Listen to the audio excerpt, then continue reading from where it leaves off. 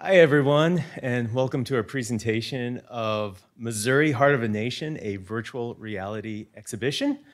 Uh, I'm glad you guys are here, you know, and uh, yay, Missouri, 200 years, huh? We did it. We did it. We made it. Oh, boy, yeah. Uh, thank you to uh, MU. Thank you to uh, Missouri uh, Historical Society um, here in this wonderful building. And uh, yeah, thank you to uh, all of you guys for being here. I hope that you enjoy the weekend's activities. So, uh, with that said, um, hopefully you all will be able to experience the virtual uh, reality exhibition that we put together here of uh, the Missouri Heart of a Nation collection. And hopefully you at home will experience it too as well, because it will be up on the Oculus stores uh, if you have a VR unit at home. So that should be coming soon. Um, so with that said, my name's Chip Gubera. I am a professor here at the university in the IT program, and uh, it was our group that put uh, the technology behind it, right? But uh, I'm just announcing everything here. Uh, the speakers today will be uh, Alyssa McCusker, who is the Associate Curator of the European and American Arts at the Museum of Art and Archaeology. She was uh, a big part of making the gallery happen. In fact, everyone up here it was. And then we have Professor uh, Fong Wong, who is, teaches with me in the IT program. And uh, she was the instructor who actually, uh, uh, her class, her introduction to VR class, which is an undergraduate class, uh, are the ones that actually put this whole thing together, right? A bunch of undergraduate students put this uh, gallery together, which is pretty amazing, you know? At least I think it's pretty amazing. And then we have two students that worked on it. We have uh, Charles Seelert here, who is a recent grad of the IT program. He did all the modeling. He's going to talk about this and exactly what modeling is. And then we have Sam Nichols here, Mr. Sam Nichols, who's a current student, uh, and he will tell you his story. He did a ton of work on this over the summer, as well as being in the class. So with that said, uh, I am going to get out of here, and uh, we'll let uh, everyone speak for themselves. So first off, though, we're going to have a little six-minute video about this collection, Missouri Heart of a Nation, and then uh, Alyssa will come up and talk about it. So thank you.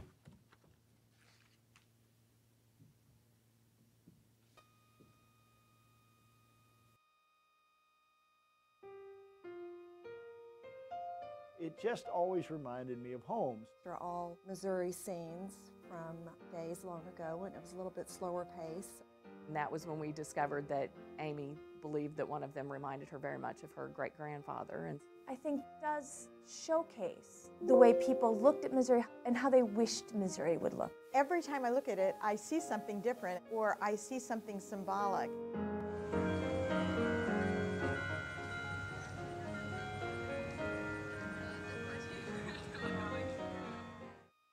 Collection is composed of over 100 paintings created by 14 different artists. started out with a very simple idea of selling prints by regionalist artists through department stores. And those 14 artists all boasted their own styles, their own interests, and they were, in general, chosen to represent areas that fit with their own interests and the work they had done in the past. And often what we see is a remarkable um, connection between the style an artist used and the subject he was depicting. These artists were producing murals, they were producing posters for the war effort, they were producing illustrations.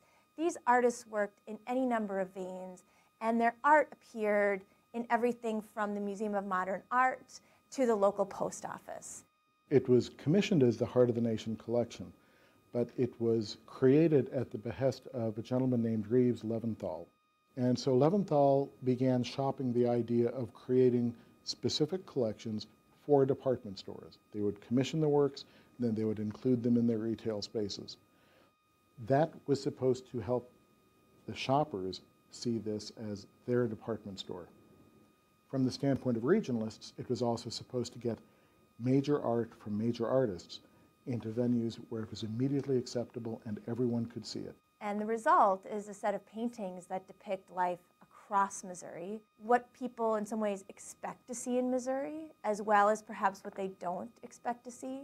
It really highlights not only what people of Missouri thought of Missouri, but also what people in the nation thought of Missouri. In 1947, the collection is completed. It's transferred to the department store, and they put it on display first in their stores, and then it travels all around the Midwest. Eventually, a decision is made that it has to go somewhere else. Dr. Elmer Ellis became aware of the collection and felt that it would be a good addition to the University of Missouri art collections. So he contacted the department store, the possibility of them donating the collection to the university, which ultimately they did. And after extensive discussions and correspondence, a decision is made that it will be transferred in its entirety. And in the fall of 1950, it finally arrives. This had a number of benefits. First, it meant it was a donation to a public institution. It would retain some kind of visibility for the collection. It also meant that it stayed public. So it, it moved from being accessible in a department store to being accessible in an institution of higher education. The goal was to have the department store in every state sponsor this kind of collection. It only happened in about three or four. So, what we have here in Missouri is extremely special. As an anthropologist, my main interest is in the life history of objects. And as a museum director, I'm interested in the life history of collections.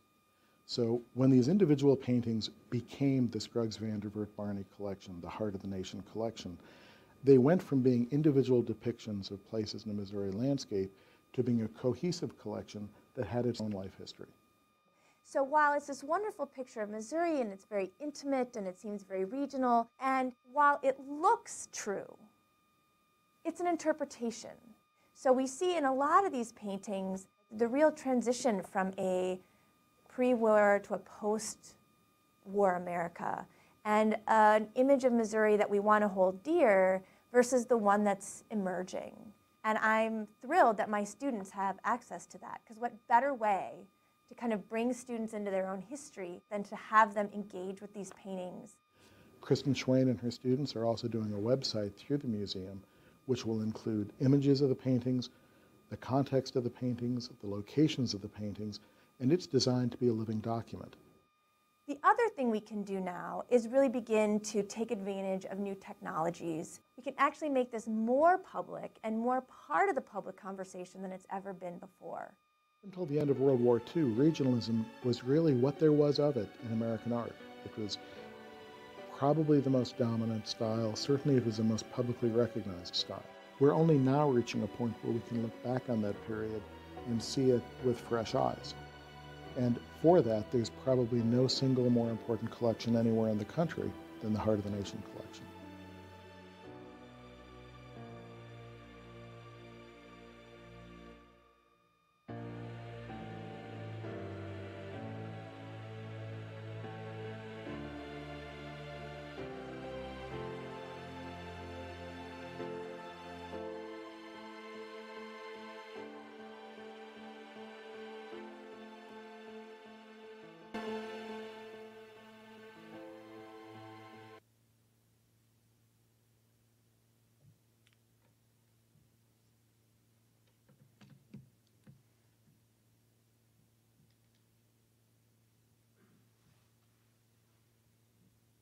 Good morning, everyone. It's a pleasure and honor to be here, um, to be introducing this project, introducing this collection to those of you who are not already familiar with it. Many of you are. Um, any of you who went, wandered through Jesse Hall at some point um, before 2014 would have seen this work um, gracing the walls of that um, esteemed building. Um, I also am, am just really honored to be representing the museum at this particular event. Um, in, in our current circumstances, our museum is closed. We are moving, we are relocating back to campus. Um, that film was made uh, some years back when we were still in Mizzou North, which we still are, but we are currently packing um, and relocating. Um, and this kind of exhibition with all that video is actually inaccurate. It's not over 100 paintings. It is just about 100 paintings um, and drawings, 98 works in total, um, with one work actually missing. Um, it was stolen from Jesse Hall in 1995. So um, if you see any works by Aaron Bohrod floating around depicting Main Street in Kansas City in beautiful color, we would love it back.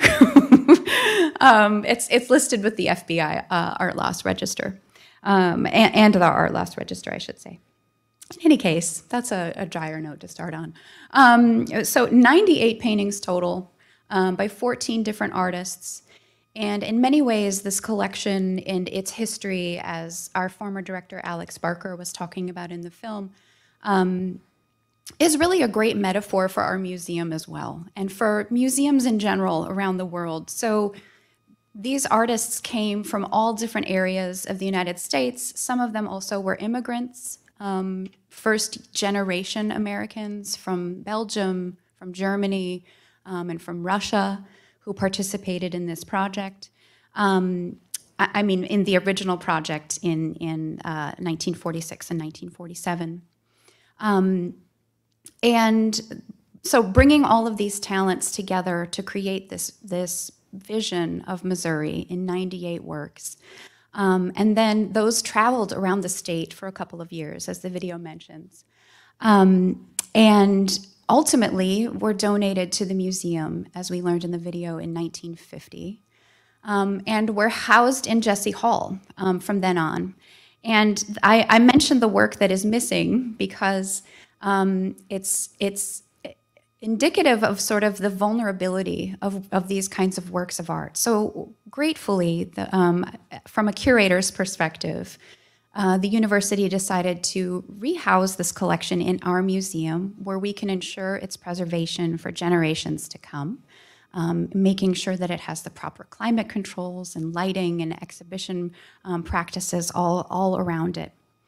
Um, so this project that I'm talking about today um, is um, is was born sort of on the fly in many cases, very fortuitously, very a very happy sort of accident that all of this came together. Um, thinking about this particular bicentennial event um, and trying to uh, bridge the museum, the art world with the technical, the you know the School of or the College of Engineering at the University of Missouri. Um, so I, I, I, bring in this map, which in, in part of my research of this collection um, and I am not a native Missourian, I have to say. I am from Minnesota. So part of my learning about this collection was to learn where these works are from. Where were these, uh, uh, these artists traveling to? Um, and, in, and I created a Google map, which is what this is. And this is also accessible. Um, I have it fully accessible online. If, if, you would, if you're so interested, I can send you the link um, you know, at, at the end of our talks today. Um, but you can click on each one of these locations. Each color is a different artist represented in the collection. And then um, it will actually, in some cases, take you down to a street view because with the technology of Google Earth, I was able to pinpoint, in some cases, exactly where the artist was standing when he was painting um, or drawing a particular scene in this collection. Um, it, the, you can see over here there's a cluster at Kansas City and a cluster in St. Louis. Those were focal points for a number of artists. As you can see, I've, I've got a zoomed in map here for you to see for those of you who are familiar with these two, uh, the two largest cities here in our state. Um, but I, I, a few years ago, I attended a great workshop about the digital humanities at Duke University. And the takeaway for me um, from that entire experience was that um, digital humanities is wonderful. It's a buzzword. We, we love to throw it around because we're trying to uh, find new ways to bridge the humanities and technology, right? I get that. And that's wonderful and exciting. Um, but what my takeaway was that the any projects in, in digitization really and technology really should be in service of the humanities. Your starting point should be what kind of humanistic questions are you asking? And um, uh, this project that, that we'll be talking about more today um, really is, I think, the epitome of how um, asking questions or figuring out uh, asking humanistic questions and then figuring out how digital technology can serve to answer those is really remarkable um, because this is an exhibition that could not exist. Right now, we do not have the kind of space um, in our museum to house this. We would have to essentially deinstall our entire permanent collection to display these works. Um, I've also was able to have um, perfectly modeled and designed gallery spaces for individual themes. Um, and this, this particular map also informed the design, um, the sort of meaningful, symbolic design behind it in the sense that we took some of these particular places from, um, uh, from the map of Missouri and used this in our lobby for the central sculpture that you'll see, which, which actually rotates in the VR experience. Uh, this is just a screenshot. Um, but just to show you that this is directly tied to these works and the, the meaning of these works is, is you know, directly rooted in this particular project. So um, I curated an exhibition. Like I said, I was able to create the sort of galleries that I wanted. Um, and I chose uh, seven different themes, all of which really overlap because, of course, you can have lots of representations of rivers in St. Louis, right? Because um, of the, the, the, Mississippi, of course, is at the heart of St. Louis in the east. Um, and the, the Missouri runs, the Missouri River runs, you know, south of, uh, southwest of, of, the city of St. Louis and so on. Um, and then I was able to pick my own gallery colors, which is phenomenally interesting because rather than having to, you know, laboriously paint every single wall, um, we were just able to, uh, by the entering different numbers from Pantone, we were able to change the gallery walls. Um, so I just want to go through some of these images, um, allow this to kind of run through while I, while I talk a little bit. Um, so these 14 artists, um, as I mentioned, all, all of them American artists. Three of them were, um, were immigrants, one from Belgium, one from Germany and, or, or Prussia, one from uh, Russia. And were brought together on this project um, by a department store. And this may seem very peculiar to us today because, you know, Macy's is not you know, contacting Anish Kapoor to come and do anything for them.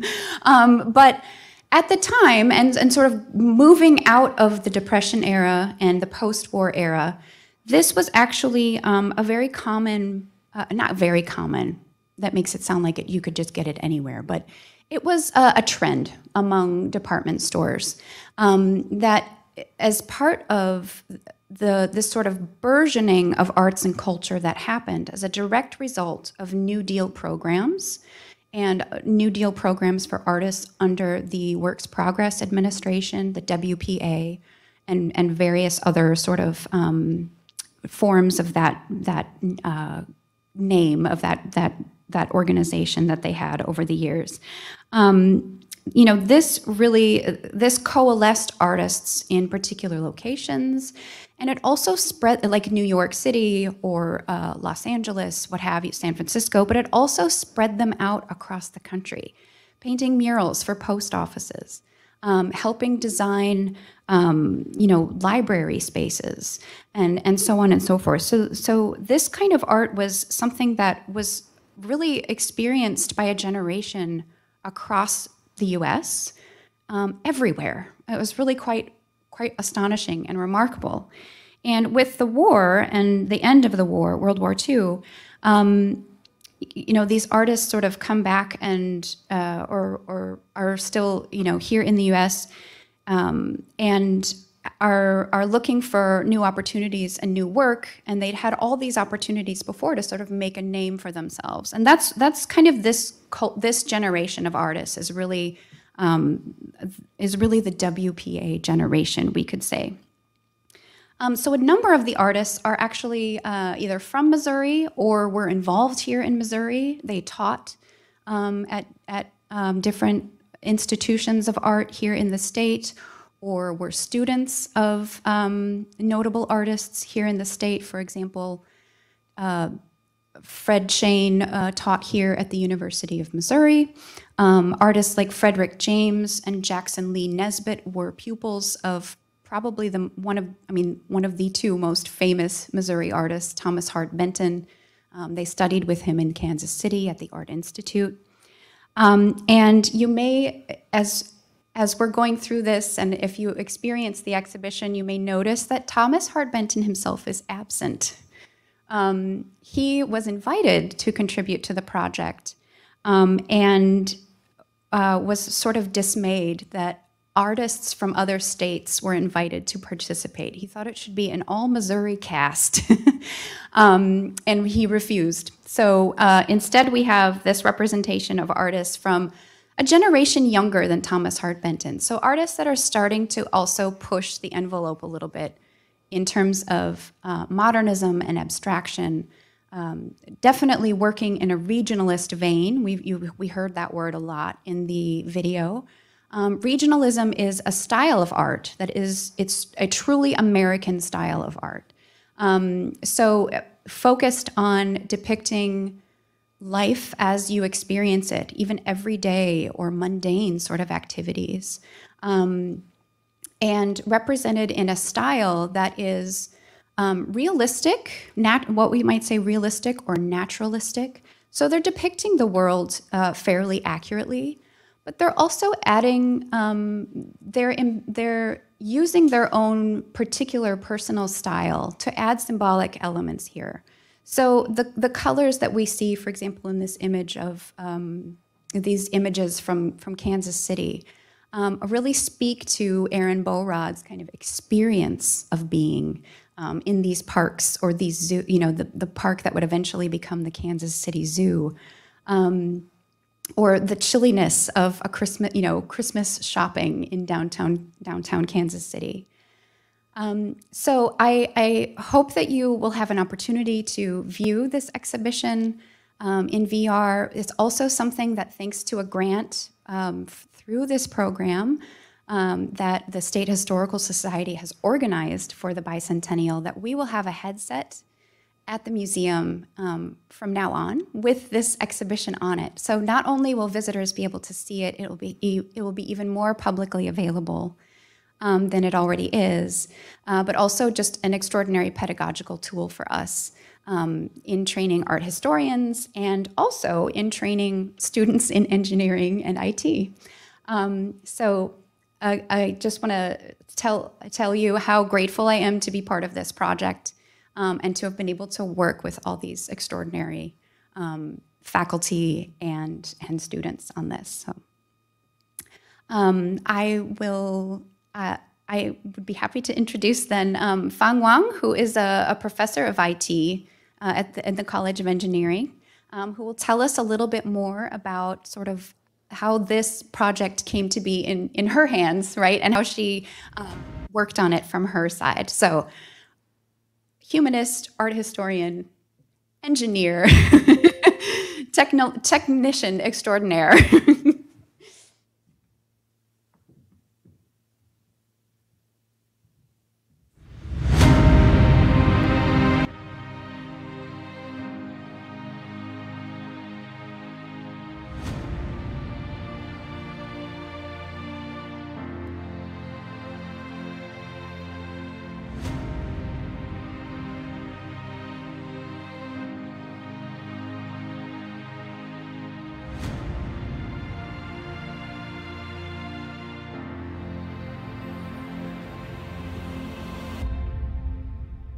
The Museum of Art and Archaeology at the University of Missouri preserves a collection of artworks that allows us a remarkable glimpse of Missouri in the mid 20th century. In 1946 and 1947, they hired 14 artists to travel across Missouri, quote, to depict the natural beauties, industrial activities, and cultural characteristics of the state, end quote. The patrons named their collection Missouri, Heart of the Nation. In honor of the Missouri Bicentennial, we present this entire collection in the modern format of a virtual reality exhibition.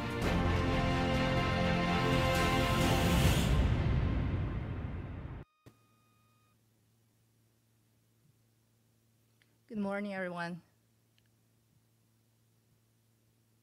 My name is Fang. Uh, I'm a faculty member at IT program in the College of Engineering.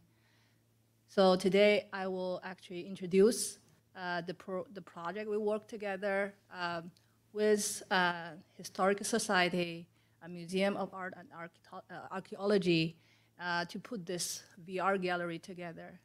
So as Alyssa had pointed out, it's this uh, project almost born by accident on the fly. But then when I was sitting there and thinking back, I felt like it's not just accident, right? Actually, all the components that eventually made this uh, uh, project possible were already there. Uh, so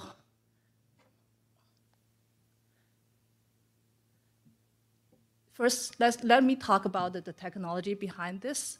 Uh, the virtual reality, uh, or you know, um, VR, we called it, uh, is a very new technology, right? Um, so when we start uh, our in our program, we start to offer a class in 2016. We had a very humble start. We start with five computers in a very small lab, and now it has grown into um, this new VR lab that's hosted, uh, located in Lafferre Hall. Uh, many of you, uh, I would invite you to come visit us for, you know, we are gonna put, uh, put on this exhibit today uh, in, the, in this location. So the room consists, uh, uh, have 21 VR-ready workstations. Uh, the one on the left is the classroom. That's where the VR class take place. Uh, the picture on the right is actually the room next door. That's where you know more in-depth project, uh, student uh, taking on research project, individual project, or capstone project. We actually utilize the other room. Um, so with the facility ready, we also have um, quite a few courses contributed to the uh, educate or train our students to be able to um, put this project together. So some of the, the courses we have, uh, like Introduction to Virtual Reality, Game Development, Modeling, Animation, and many other courses uh, that actually um, build the skill sets that students need um, for this project. So uh, for the, if this can play, actually this is a video. Um, one of our project that is a basketball game, and we actually uh, use those student project, you know, for community engagement. Here actually is uh, probably middle school students coming in to visit in our VR lab and was playing the game. We also conduct a lot of research uh, in the using the facility. So, for instance, um, most our uh, current research are on using VR technology for education. Uh, so here, I don't know if this, prob- this is a video, but seems like this only uh, is a, right now showing as a picture. We have a lot of engineering labs, right? Um, you know, traditionally our education are mostly um, contained in a 2D space, right? So you look at the book, you use your computer. But here we are able to bring you another dimension. So VR many times are considered as a spatial computing because we are able to put you in a 3D environment. Uh, the hope is, or our, you know, uh, first impression is this will actually improve the education. You get to do things, right? Um, not necessarily have to be in a physical space, but in a virtual space. This helps us a lot of times. The cer- certain, for example, labs, you can uh, practice at home, right? But also you actually can. mm, uh, some of the equipment are not widely available. There's probably only one this type of settings in the whole engineering because they are expensive, hard to maintain, uh, things like that. So now we can actually bring those into the student uh, to their home on their fingertips. However, you know, everything has two, two sides, right? So not only that it will help you learn, but the other part is we have started to observe that this actually, again, add a, a cog- cogni- cognitive load onto the people because it's not completely natural. For instance, things that you do in your daily life, you pick up things with your hand, right? You are easily doing that. But here, we have to go using a hand controller. Right? Uh, As some of you may have already seen that. So it's not a, act, actually a natural activity. But our research has found that the benefit of using the virtual reality is far beyond those co- cognitive load people have to acquire, right? Um, so that's some of the research project we did. Um, we actually have been already um, fairly active in terms of uh, com- community engagement. Um, I think this also contributed to the fact that we took on this project. Here are just some pictures showing this still, uh, this the lab, our old lab in the engineering building north. Uh, we have a lot of students visiting us, and uh, we were told we are the place that um, it's hard to get them to leave. They stay, right? Um, so a lot of them, not only we show that the commercially, commercially available program, but we actually let them see what our students build. Okay, I think that make a lot of difference, but then that's actually a good uh, conversation starter. They start to ask, right, how can I do that? So we can start talking about the courses you might need to take, right? Get them interested. Uh, so here, the, I have one minute, one minute remaining. Let me talk about how we get onto this project. Um, I think, uh, so there's three components, right? From the Historic Society, I think they had the vision, the drive. Uh, Beth and uh, Michael uh, came up with the idea of having this VR gallery. And then we have Alisa, actually, her dedication uh, you know, she uh, picked and designed the whole museum, right? The, as she pointed out, the color, how to place those paintings. And then we have the course and students' talent to put all this together. Um, so I implement this into uh, my class. Um, it's, you know, actually we were approached probably in January this year. The class has already started. So I had to actually work with uh, uh, Chip and my teaching assistant, Scott. Some of you may see him today in the lab. We designed this uh, project, right? I'm not very confident at that time. So what we decided to do it is uh, as a midterm project. Each of my students get one room only. Okay, we have seven um, uh, gallery rooms. So each student team get one room only. They put on the, the paintings, and uh, by the midterm time, they were only um, capable of doing very basic VR um, development. So the design was mostly just using eyes to interact. You are able to move around only using your eyes. Uh, here, actually, the pictures is after the midterm. We brought in Michael, Beth, Lisa, and everyone. And as you can see, they were very impressed. And I, my confidence also rise up because I see my students are able to do it. This is probably the first time we collaborate with um, people from with art background. Uh, so moving forward to the final, we had been able to put together the museum and assign my students team, each one of them, the whole museum.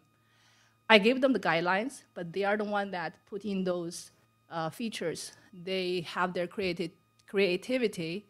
Um, so not only we are using, we design two mode. You can use your eyes only, or you can use a hand controller to have a little more interaction, a magnifier, you know, things like that.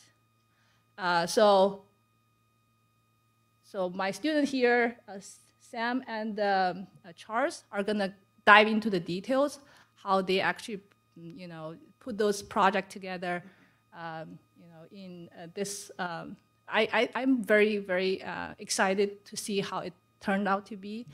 Um, so, thank you, everybody. So, Charles? Okay. Give me just one second here. Good morning, everyone. My name is Charles Allen Seelert. I am a Missouri, University of Missouri graduate. I graduated in December of 2020, and my focus on this project was 3D design. So what that means is essentially what I needed to do on the project was to focus on the visuals and the layout of the structure, the uh, look and overall feel of the um, museum itself.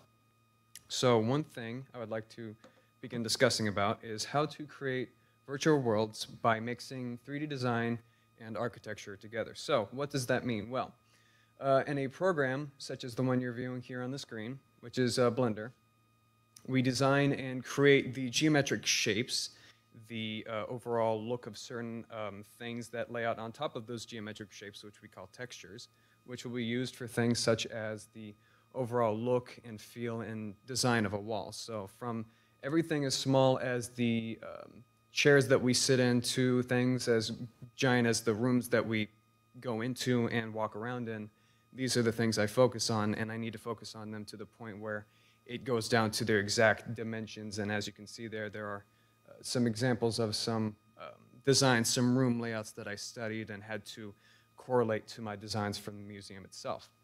So uh, a bit of uh, backstory into why I focus on these specific things, such as 3D design and architecture. Uh, when I came to Mizzou in the fall of 2015, I was originally going into architecture design. So what that, what that essentially means is that I was uh, focusing on things such as the overall look and design of buildings and the structure of them uh, as a whole. But uh, as time went on, I quickly found that my interest uh, went towards more of the design and um, computer side of things. So I went into uh, information technology since that, uh, in my opinion, had the best of both worlds. I could design and plan out things according to the um, programs and computer uh, algorithms that I used. And uh, from 2019 to 2020 was a very important year for me because I was focusing on the research projects that I was uh, under with uh, Professor Fong. And so what I would do is I would take my time to understand how a building is laid out, the structure of how a person moves from one place to another in those buildings, and essentially how to define them in a way that's interesting and unique. So when you create a building, essentially you want there to be a purpose for that building and structure in the first place, but you want it in a way that allows a person to come into that structure and know where they're going, but also make it look visually unique as well. So that was the things I was focusing on for almost a full year. I was also under a teaching position with uh, Chip Gubera. So that was a great time to help study uh, the design and uh, layout of uh, the programs used alongside those 3D design programs. And in 2020, uh, December, I graduated from the IT program. So uh, to go into briefly some of the programs that I used, I use a 3D design program called Blender, which I, again, I showcased at the very beginning. Um, the material and uh, the material design program called Substance, which are a series of programs which allow for the creation of high detailed textures and materials, which again are used to create the very detailed surfaces from wood to metal to steel, you name it. Uh, Photoshop and Adobe, the uh, creative suites from Adobe are very helpful in these uh, types of situations where you need to specify a specific texture or uh, the layout of a certain structure. Planning, designing, you name it, they do it. And uh, not only that, but um, I also helped out uh, Sam and Scotty, the head developers on this project alongside myself, with the UI uh, elements, things on the screens that people will interact with as they move through the experience. So defining clear and uh, interactable objects that people can understand the meaning behind is very important, and those programs allow you to do it very easily.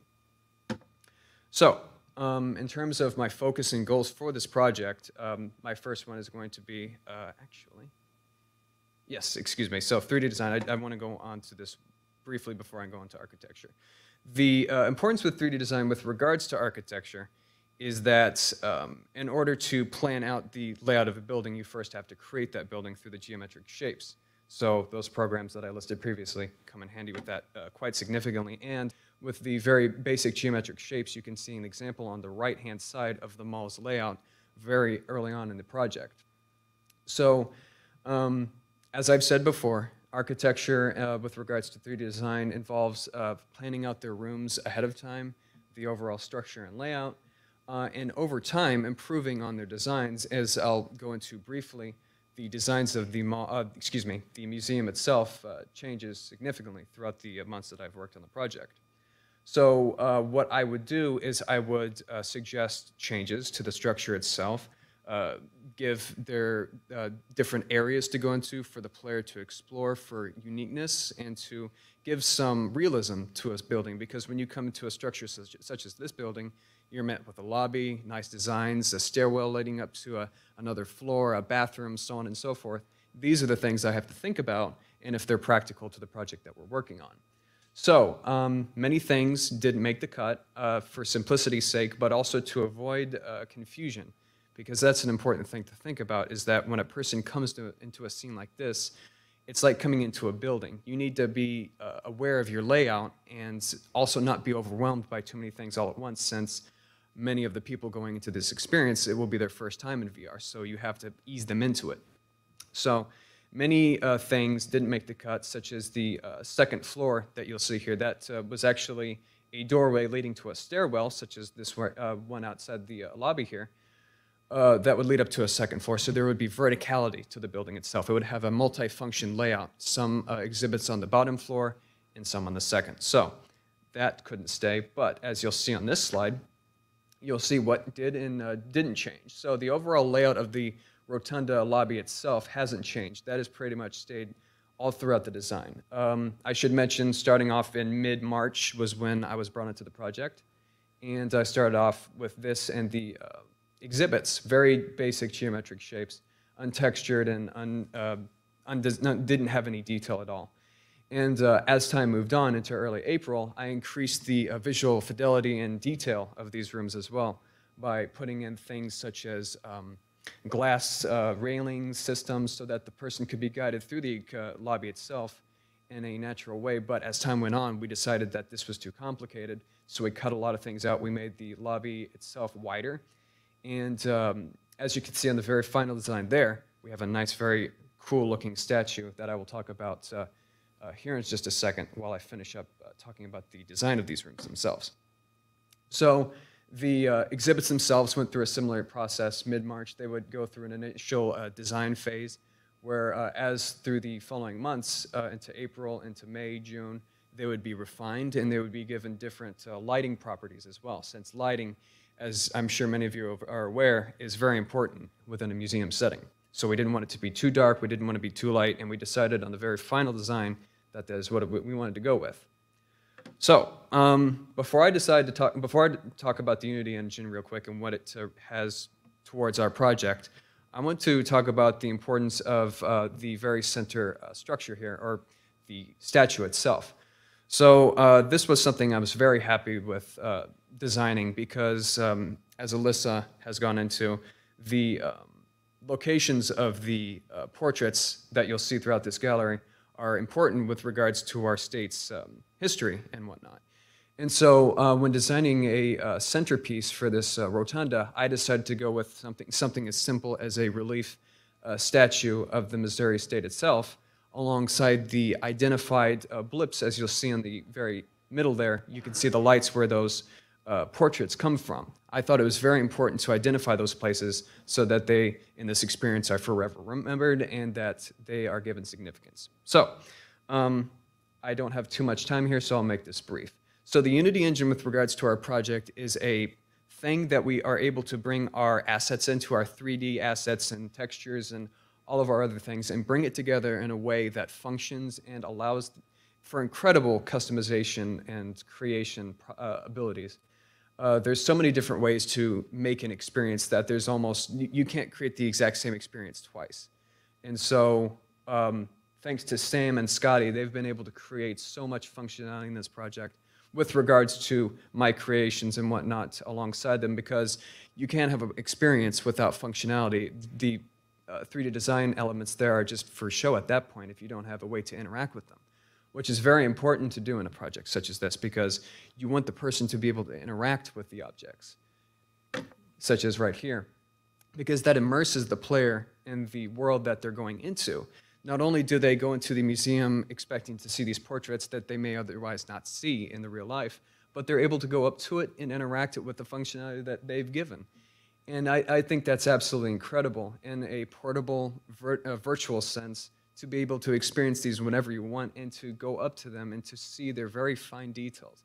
I think that's just incredible that we can are, are able to do that in this day and age. And so, um, to wrap it up here, since I'm almost out of time, um, with regards to everything else, I think that uh, it was an incredible honor working on this project. I had such a great time with regards to fleshing out the environments and working alongside Scotty, Sam, and everyone else just to make this experience as special as possible. Um, I truly believe that things such as this allow for the fostering of um, creation and ideation. I truly believe this is like the best way to learn about things around you or concepts you otherwise may not know. So uh, to hand it off to Sam, he's going to tell you a bit about how he built out the functionality of the project, and he's going to really shed some light on how amazing this all works. Thank you. Hi. Uh, uh, my name is Sam Nichols. I'm an undergraduate student here at the University of Missouri. Uh, I was in Fong's Intro to VR class this semester, and I was the backend developer for the Missouri Heart of the Nation virtual exhibit. Uh, so today I'm going to talk to you guys about my experience as a student uh, building the museum and kind of everything that took place. Uh, I'm going to talk a little bit about kind of my mindset going into the class and how it changed over time, um, and then kind of the timeline of the project and how everything happened, and then a couple of the challenges we faced along the way and how we overcame them. Uh, so my first day in the Intro to VR class, um, I kind of took the class uh, because I needed credits. I wasn't really interested in VR uh, or game development. I, di- I didn't even know what Unity was. I had never used a game development software. Um, I wasn't a very strong coder, and I kind of just wanted to take the class and move on and do cybersecurity. Um, fast forward six months to today, uh, I have worked with an amazing team uh, building a professional art museum. I've spent hundreds of hours using the Unity software. Uh, I've become a much stronger coder, and now I'm actually starting to consider game development for my future. So uh, that's obviously a, a, big change in six months. Uh, so uh, now, how we got there, uh, it kind of all started with the midterm project. Uh, when it got time for it, we were kind of like starting to ask questions what it was going to be like, and we were kind of like, we're going to do something different this year. We're really not sure if it's anything. Uh, it might be something, and then and then the idea of building the museum was announced, and uh, we split into teams, and they gave us a room to work with and put the paintings in, and kind of do some gaze-based teleportation inside of it. Um, really, kind of just the basic stuff that we knew how to do at the time. Um, and they were like, you know, if this does turn into a project or into like an official project, and we like your room enough, it's actually going to be inside of the museum. So it kind of gave us some incentive to do well. Um, and then fast forward to the end of the semester, uh, the museum's now an official project. Um, we work in teams of two again. Uh, but this time we're building the entire museum. So we uh, went to work on building the seven rooms uh, and kind of designing full functionality for the museum as much as we could. Um, and you know, there's there's a lot of that in there. Um, and then we actually presented it to uh, to Fong and to Alisa, um, and got some feedback on kind of where we've come throughout the semester and kind of the progress we've made and what we've you know, kind of helping us realize what we've been able to achieve and. Uh, that's when Fong actually told us, you know, whoever's interested in continuing working on this to come let her know. And uh, within two weeks, I was setting up my computer in the VR lab to start working on this project. So very exciting. So uh, now I kind of want to talk about the, the different phases of planning that went into this project. Uh, or the, the timeline. So the, the first phase that we kind of had was the planning phase. And in this time, I went and looked through all of the students' final projects and kind of figured out which project was going to be the baseline, which one we'd start with and build off of. Um, and then the other projects, which ones we would take functionality out of and put into the one we're starting with. Um, and that took about two weeks to figure out. Um, and we had a great, a great start. Um, and we had a lot of meetings uh, about kind of everything we wanted to add to it, and then it was time to get to implementing it. Uh, and this is where I wrote most of the code for the museum, uh, just kind of defining all of the interactions you'd be able to have in it, um, all of the movement, uh, and all the painting interactions.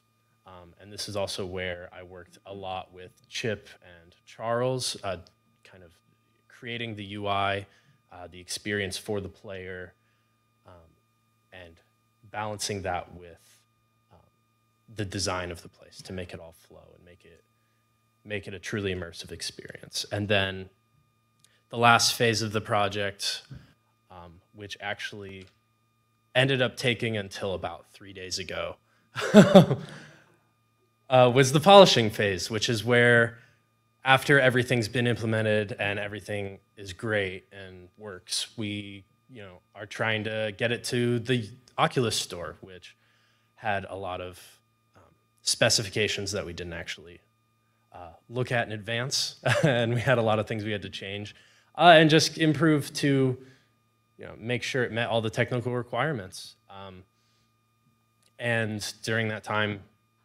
just fixing the little things that came up and doing a lot of user testing um, and making sure that it was ready for this event. And you know, it, it's pretty cool, honestly. so now I want to talk about kind of three of the different main ideas and functionality that I put into the museum and that we all worked on. Um, and so the first one's going to be movement systems, the user interface, and then the paintings themselves. So in the class, we learned about two different kinds of movement systems, and one is the first one is controller-based movement, where you actually use the controller joysticks to move around the physical environment, um, and it's a very fluid, you know, kind of like walking, except you're standing in place. Um, and then the teleportation-based movement, uh, where you use teleport teleport anchors to move to different spots around your environment and a, you have a lot of control over what you can let the player do and what they're not allowed to do. Um, and so the way that the the museum was designed with uh, the eight different rooms, uh, they were all separate rooms, not really connected to each other. So it kind of made our choice easy here uh, to go with the teleportation, um, so that if you like, if you look down the hallway, um, you would then get like teleported into the room and then you could move around that room and look at all of the art there. Um, and so the, the, one of the main difficulties we had with this was that if someone hasn't used a VR headset, uh, it's very easy for them to get motion sick. Uh, so kind of figuring out a way to do the movement without, you know, while counteracting the motion sickness uh, was a big thing that we had to focus on.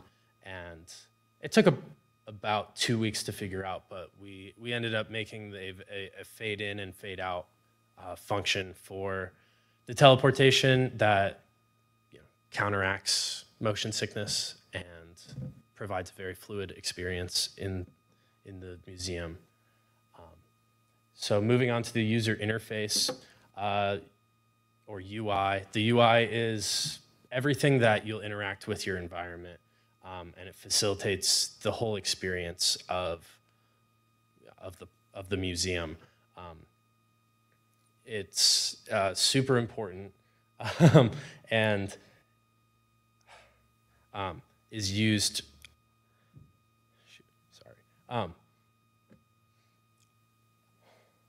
sorry.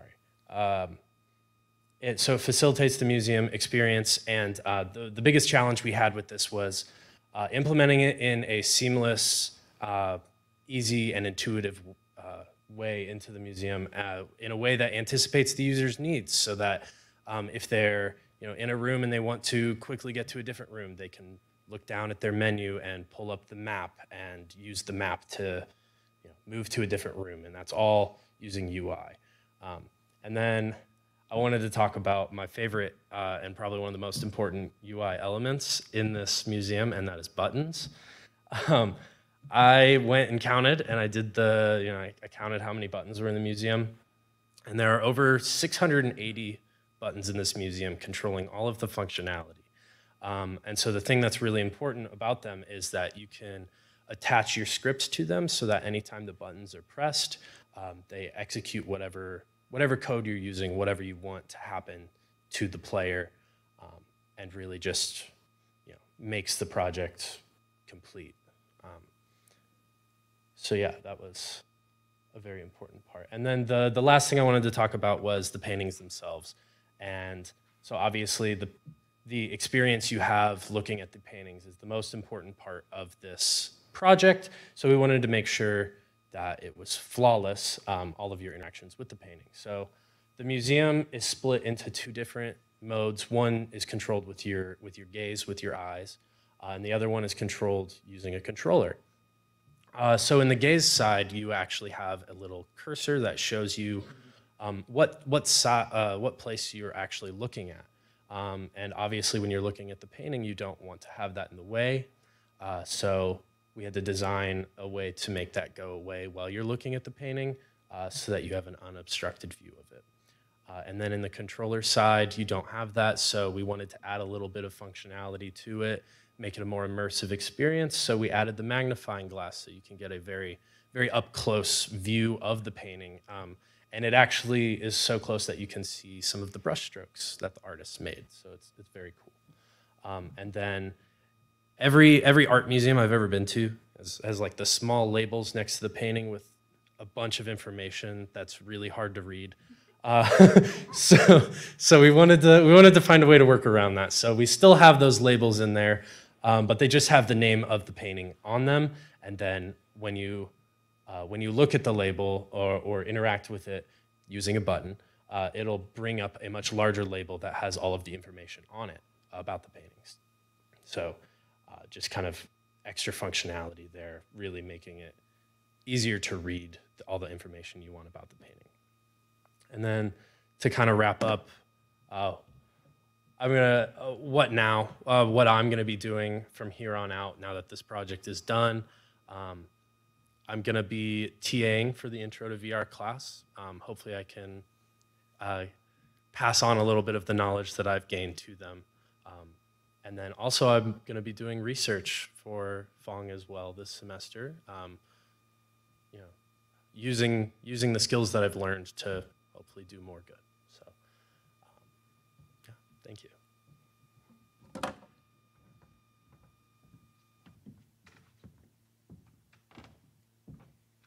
Yes, Sam has come a long way from uh, wandering into a VR class to uh, becoming an expert in like no time at all. We're very proud of him.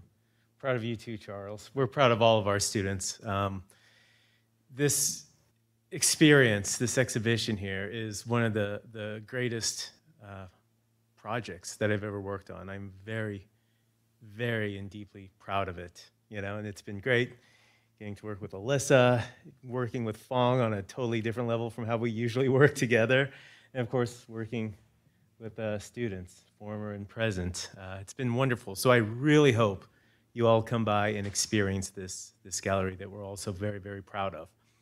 Sadly, we've run out of time for any questions and answers because we have to open up this thing, right? So if you have questions and you'd like to talk more about it, come see us in the basement of Lafferre Hall, right? That's where we are. And uh, we'll also have stations set up in Jesse Hall as well, which hopefully everyone knows where Jesse is if you're fearing Lafferre. With Lafferre, there should be signs up and everything. So we're open today from like hmm, here in about five minutes till 2, and then tomorrow from 12 to noon, okay, both in Jesse Hall, or I'm sorry, 12 noon to 4, rather, 12 to noon. I wish, right? Um, so yeah, so come by and see us, right? We're happy to answer questions and uh, you know take a tour of the gallery. It's fun. If you've never had VR before, this is a good first experience for you guys. All right. So thank you very much. Thank you to Beth Pike and Michael Sweeney and the 2021 people. And uh, thank you, State of Missouri. 200 years, all right? Yay. Thank you very much.